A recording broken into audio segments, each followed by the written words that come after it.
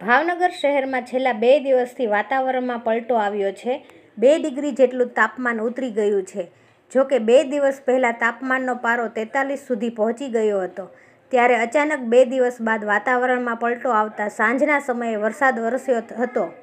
ભાવનગર શહેરમાં વહેલી સવારથી વાદળછાયું વાતાવરણ સર્જાયું હતું.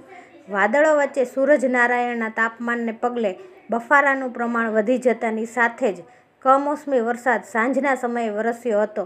ભર ઉનાળે રસ્તા ઉપર પાણી વહેતા થયા હતા. નાના બાળકોએ પણ કમોસમી વરસાદમાં આનંદ લૂંટવાનું ચૂક્યા નહોતા ભાવનગર શહેરમાં કમોસમી વરસાદને કારણે બે ડિગ્રી જેટલું તાપમાન ઘટી જતાં આડત્રીસ ડિગ્રી થઈ ગયું હતું, જેના કારણે વાતાવરણમાં ઠંડક પ્રસરી ગઈ હતી.